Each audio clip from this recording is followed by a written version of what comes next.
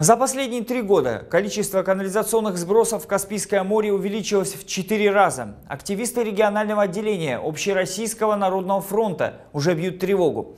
Чтобы помочь населению, эксперты ОНФ разработают карту опасных участков. Остался ли чистый кусочек моря в Каспии, узнавала моя коллега Луиза Раджабова. Так море или гигантская сточная канава, на что больше похож Каспий. Это вид сверху. Черная линия – канализационные стоки. И куда все это идет? Правильно, в крупнейший на Земле замкнутый водоем. Решили э, провести рейды по всему побережью. И буквально на той неделе была организована, э, был организован выезд специалистов на побережье между Махачкалой и Каспийском и э, отмечены точки сбросов неочищенных стоков в море. Нами сегодня проводится анализ токсикологический, токсикологический анализ отобранных проб.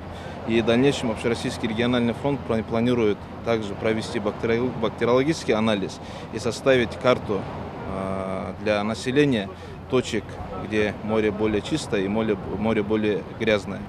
А это берег Каспия между поселками Редукторный и Турали. Многоэтажек все больше. Застройщики не утруждают себя подведением канализационных сетей, а выводят стоки прямо в море. По данным экспертов, ежедневный сброс составляет 250 тысяч кубометров. Где же купаться в разгар лета?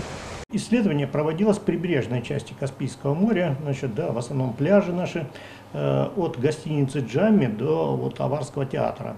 Ну, самое чистое получилось у Аварского театра, значит, да, потому что там значит, труба, по которой поступала ливневая канализация, ну, в которую вливались раньше бытовые стоки, значит, ее замуровали, закрыли. Значит, да. А самая плохая значит, ситуация по общим загрязнениям это около гостиницы Джами.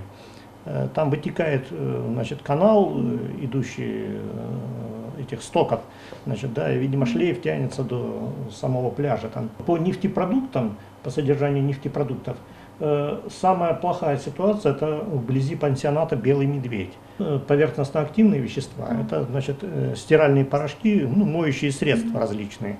Значит, здесь тоже самая плохая обстановка значит, вблизи пансионата «Белый медведь», а самая лучшая значит, да, вблизи Аварского театра. Воняйки, так называют в народе эти стоки. В одном Махачкале таких восемь. Один из крупных находится в микрорайоне Пальмира. Еженедельный ущерб окружающей среде от него оценивается в 10 миллионов рублей. Не менее опасный был в районе городского пляжа. Его перекрыли в прошлом году. Но толку от этого пока мало.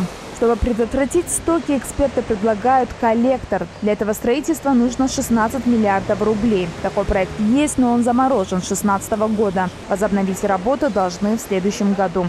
Стоки Каспийска и стоки э, города Махачкалы, Советского и Ленинского района однозначно будут очищаться. Ну, там есть проблема э, стоки Кировского района. Ну, они централизованно район как бы не отводит стоки сюда, они тоже сливаются в море. Там тоже есть вариант, э, тоже прорабатывается вопрос строительства, ну, пока проектирования северных очистных сооружений. Как поясняет природоохрана, прокуратуре меры принимаются. Только за полгода выявили 200 нарушений, возбуждены уголовные дела. Проведена проверка законности деятельности э, акционерного общества «Махачкала водоканал».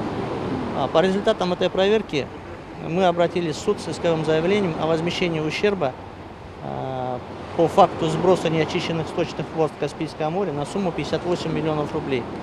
Вот в частности, по вот в этой канаве, которая вот, э, располагается сзади нас, сумма ущерба составляла э, более 30 миллионов рублей.